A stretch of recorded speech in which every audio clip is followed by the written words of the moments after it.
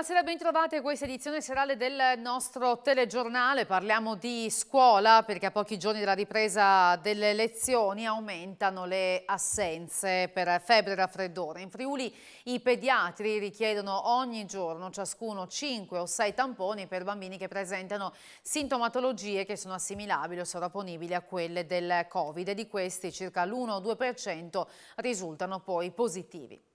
Con la riapertura delle scuole, le famiglie friulane e i pediatri di libera scelta sono sempre più in difficoltà per l'emergenza Covid e la situazione è destinata a peggiorare con l'arrivo del periodo dell'anno in cui le malattie da raffreddamento sono molto più frequenti. Nell'ultima settimana i pediatri che operano all'interno del territorio dell'azienda sanitaria universitaria del Friuli Centrale hanno richiesto il tampone per almeno 5-6 bambini al giorno.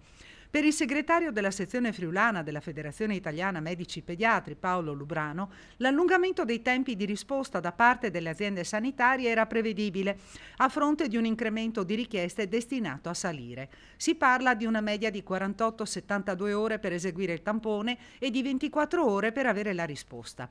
Per i prossimi giorni, continua il pediatra, la SUFC si starebbe organizzando per il prolungamento dell'orario di apertura dei centri destinati a eseguire i tamponi. Attualmente le sedi di riferimento sono Gemona, San Giorgio di Nogaro e Udine, oltre ad alcuni distretti territoriali, mentre la pediatria del Santa Maria della Misericordia sta fornendo il servizio in un padiglione apposito per i bambini al di sotto dei due anni. Che fare dunque se i bimbi hanno raffreddore? Se i sintomi sono lievi, basta aspettare 24 ore per accertarsi che la situazione migliori, ma se sono sofferenti, non riescono a respirare bene, hanno la tosse, bisogna immediatamente ricorrere al pediatra.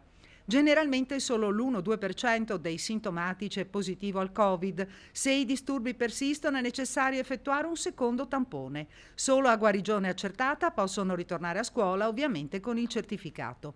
Purtroppo la maggior parte delle patologie che colpiscono i bambini in questo periodo sono analoghe a quelle del Covid, conclude Lubrano, pertanto è evidente il disagio che si crea alle famiglie, almeno fino a quando non arriveranno i tamponi veloci, la cui risposta si ottiene in 15-20 minuti. Un caso di positività alla scuola primaria Gabelli di Pordenone, alcuni compagni sono in quarantena preventiva, ma per il resto le lezioni proseguono in presenza. Un alunno della scuola primaria Aristide Gabelli di Pordenone è risultato positivo al Covid-19. Il Dipartimento di Prevenzione dell'azienda sanitaria del Friuli Occidentale ha effettuato le conseguenti attività di tracciamento dei contatti anche in ambito scolastico e ha disposto le necessarie misure di quarantena preventiva che riguardano alcuni compagni di classe. Per Ciao. tutti gli altri studenti del plesso, invece, sì, sì. le lezioni proseguono regolarmente in presenza. La scuola Gabelli fa parte dell'Istituto Comprensivo Centro, come la Media Centro Storico, nella quale si erano verificati due casi di positività il 17 settembre. Il dirigente scolastico Pier Vincenzo Di Terlizzi ricorda che le misure organizzative, l'impegno di ognuno per la propria parte e la collaborazione con le autorità sanitarie possono permettere di attenuare il rischio di affrontare nella maniera più adeguata queste evenienze. Il dirigente sottolinea anche che da lunedì 5 ottobre prenderà il via l'orario a tempo pieno nelle scuole dell'infanzia Vittorio Emanuele II e Beata Domicilla. Grazie all'utilizzo dell'organico aggiuntivo Covid sarà possibile garantire l'estensione dell'orario fino alle 16.30. Sempre da lunedì le primarie Gabelli, Comina 4 novembre e Collodi svolgeranno l'orario completo completo. E per chiudere la pagina Covid, i numeri per eh, la Regione Friuli Venezia Giulia con l'aggiornamento di oggi che conta 28 nuovi contagi, 28 nuovi positivi con il totale degli attualmente positivi che sale a 735, dei nuovi casi 13 sono in provincia di Udine, 8 in quella di Pordenone, 5 a Gorizia e 2 a Trieste, 6 Restano i pazienti in cura in terapia intensiva mentre 19 sono ricoverati in altri reparti. Solamente pochissime persone che non rientrano in una delle categorie che sono considerate a rischio non potrà acquistare il vaccino antinfluenzale nelle farmacie. In provincia di Udine ognuno avrà a disposizione solo una decina di dosi e quelle ordinate dal Ministero della Salute non sarebbero sufficienti a garantire la copertura prevista del 75%.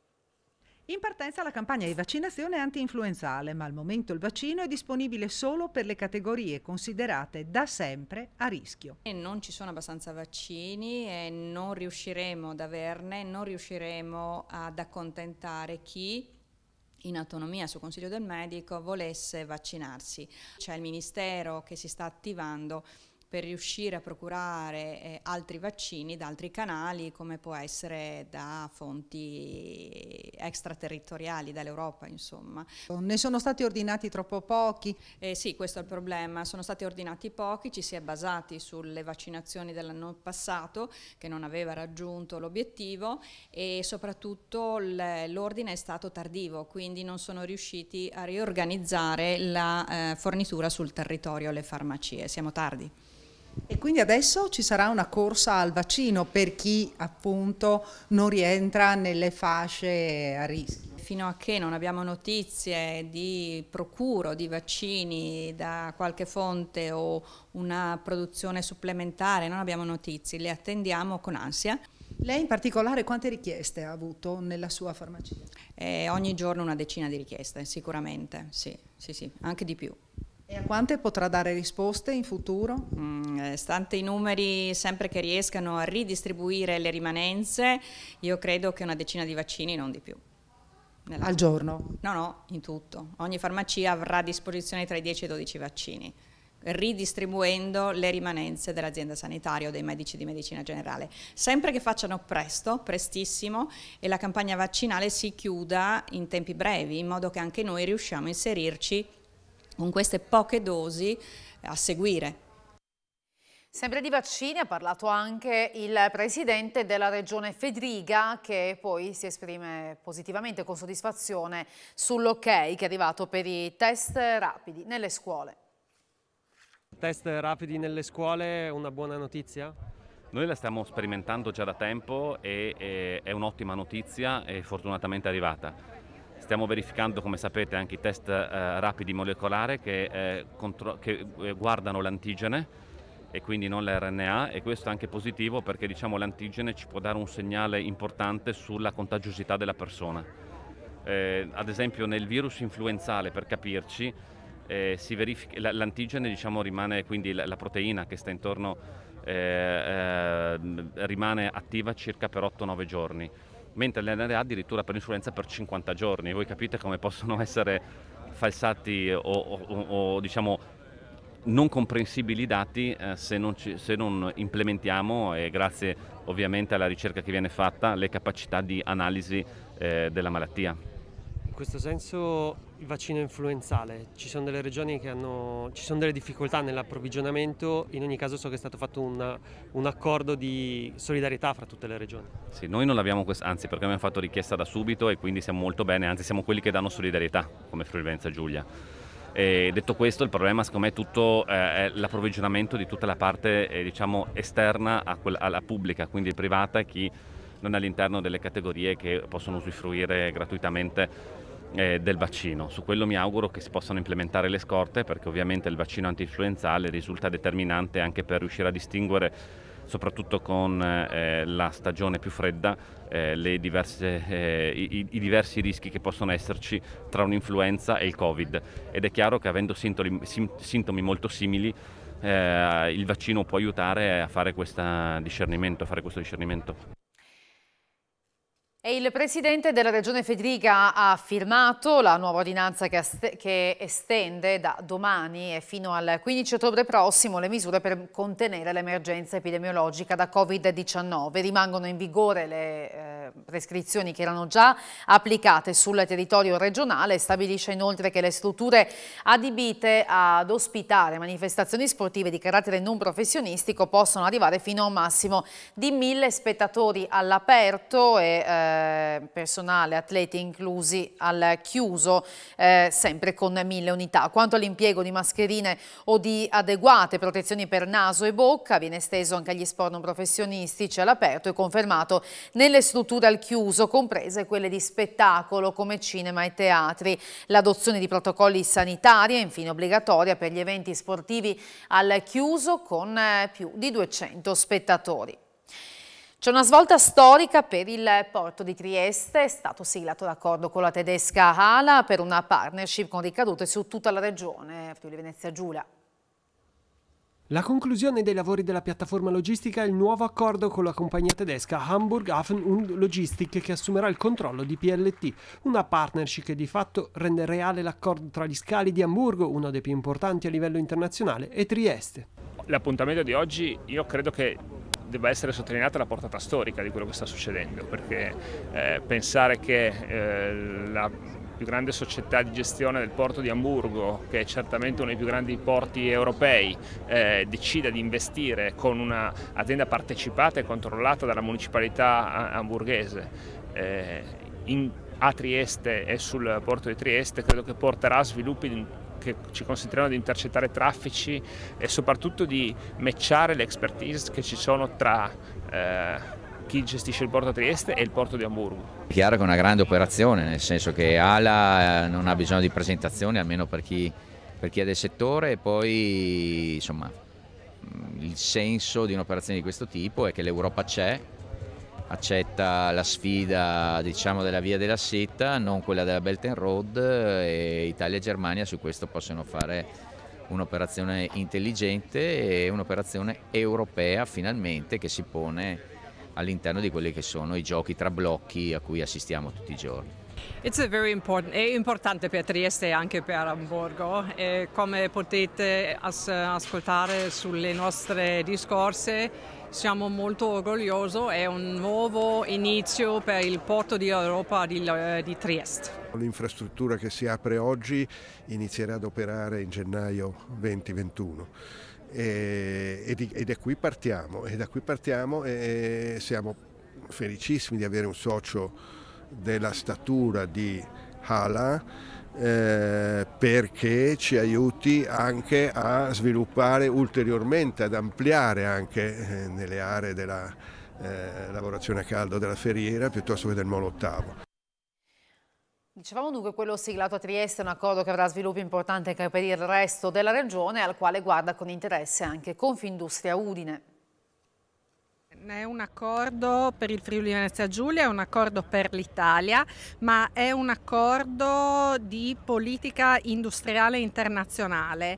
E attenzione, non parliamo più di One Belt One Road, parliamo di Via della Seta, perché One Belt One Road è un progetto cinese, Via della Seta è un crocevia, uh, è una strada che si apre da un lato all'altro del mondo e in questo caso con i tedeschi che investiranno oltre il 51% su questo progetto uh, si intuisce l'importanza del porto di Trieste, l'importanza di questo progetto nello specifico e anche quelli che saranno gli sviluppi delle, delle aree industriali del nostro circondario e non solo.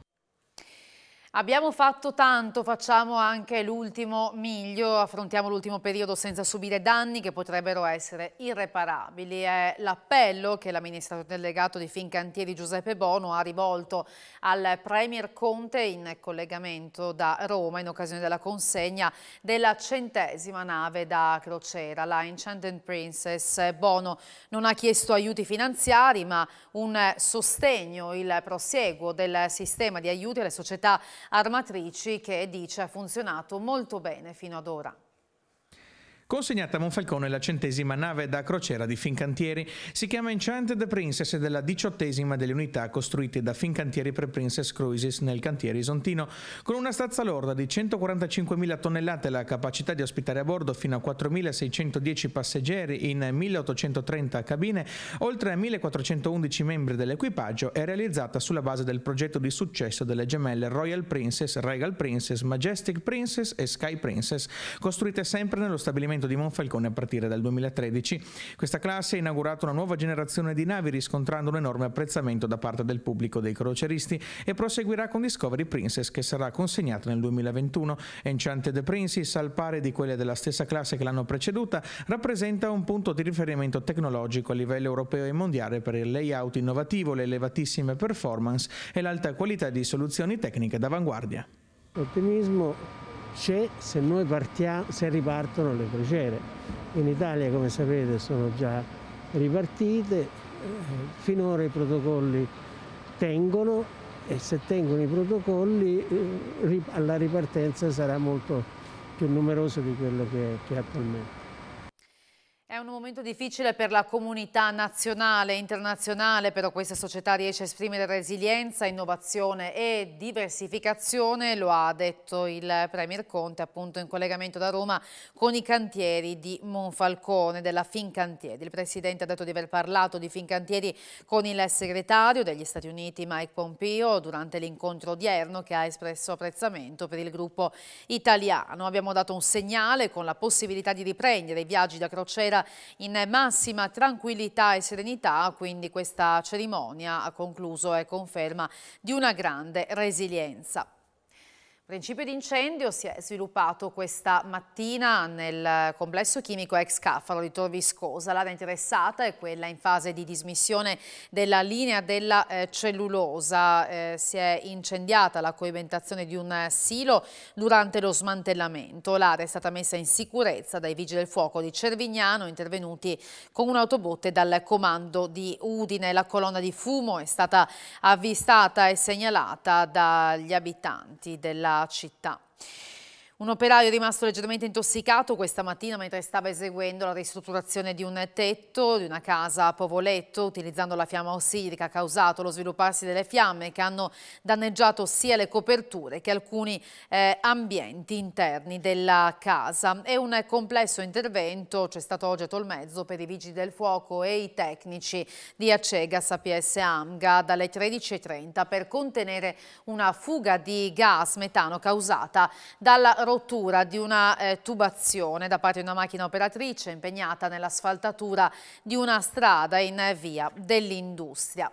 E restando alla cronaca, ha denunciato una cittadina eh, cinese per lo sfruttamento di due connazionali. Vediamo il servizio. Da settimane ormai le famiglie di quel condominio non ne potevano più di rumori molesti a tutte le ore del giorno e della notte. Erano stufe anche del continuo via vai di uomini di tutte le età, concentrati in particolare nelle ore notturne e nei fine settimana. Così sono scattate una serie di segnalazioni ai carabinieri di Palmanova. È l'inizio dell'estate di quest'anno quando vengono avviate una serie di indagini, anche tecniche. Si scopre subito che in un appartamento al decimo piano di una palazzina di Cervignano si svolge attività di meretriccio. I militari della compagnia della città stellata nella giornata di ieri si sono finti clienti e hanno fissato un appuntamento. Hanno scoperto così che nell'alloggio affittato da una cittadina cinese di 52 anni con precedenti venivano sfruttate altre due cittadine cinesi di 53 e 43 anni. Il costo a prestazione poteva variare da 50 a 200 euro. Sono stati rinvenuti e sequestrati numerosi oggetti tra cui preservativi e giochi erotici.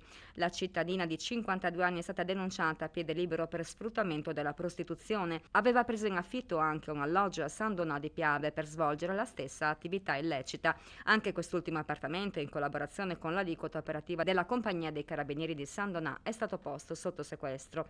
I clienti provenivano per lo più dalla zona del Cervignanese, ma anche da zone più lontane. Erano sia giovani che signori attempati. Fissavano gli appuntamenti tramite la 52enne che a sua volta pubblicizzava l'attività di meretricio sui siti web.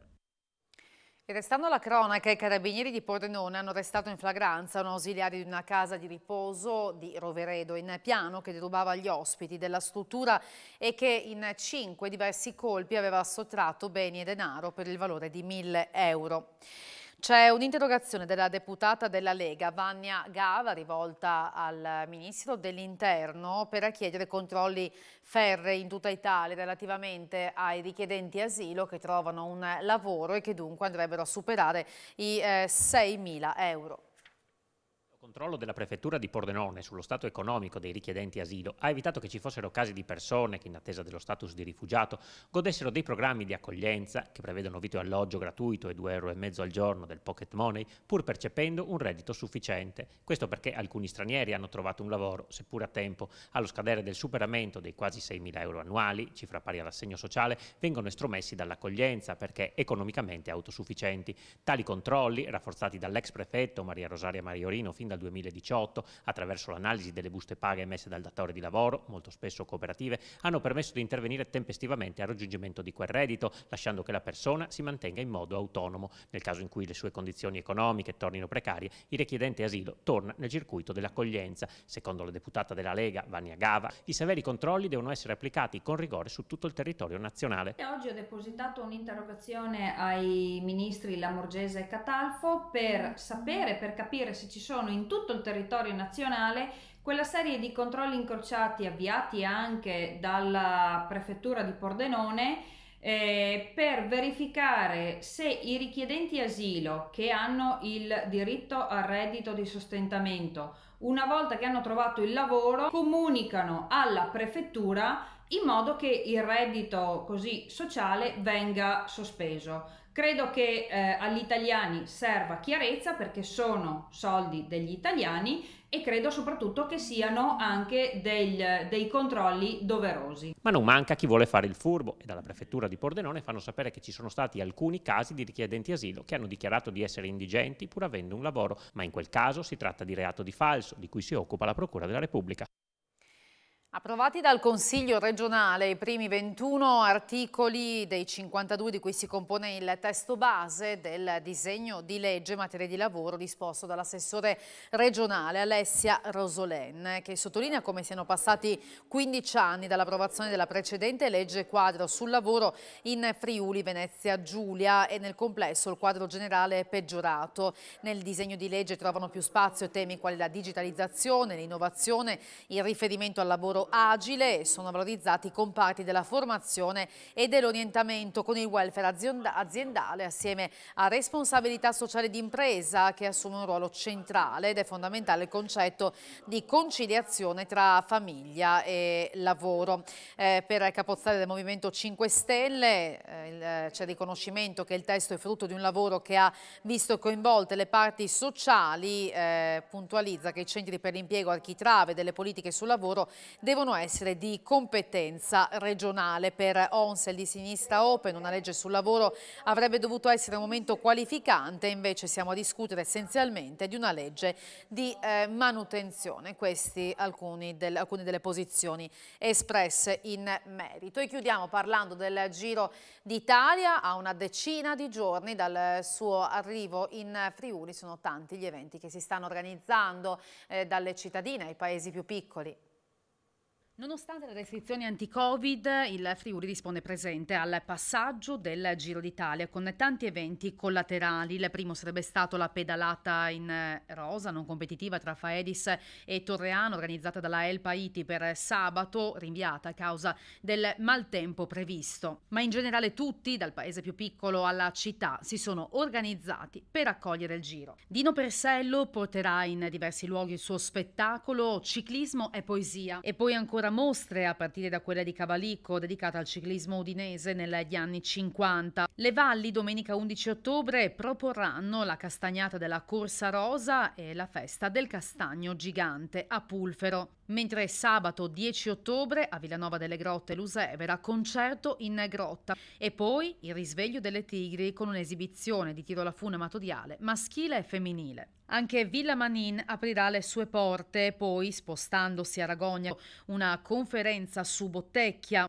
musei e castelli aperti con visite naturalistiche al lago di Ragogna. Ad Aviano per sabato 17 ottobre è in programma l'intitolazione della strada dello sport che da Aviano porta a Piancavallo, salita Pantani. Bertiolo e Faedis apriranno le loro cantine e Adegliacco onorerà i suoi campioni Alessandro Orlando e Chiara Cainero. Udine, città di partenza, proporrà un'edizione speciale di Udine sotto le stelle in rosa il lunedì 19 ottobre, il giorno prima della tappa, alle 17, vedrà sfilare tra le vie cittadine la fanfara della Iulia.